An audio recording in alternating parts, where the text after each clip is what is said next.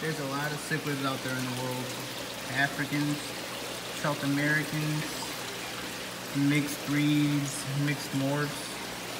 My favorite cichlids are Argentinian terrors, for sure. I recently found out about these, and they're one of my new favorites.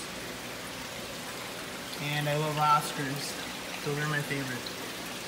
Those are my type, top three cichlids. What are your favorite cichlids?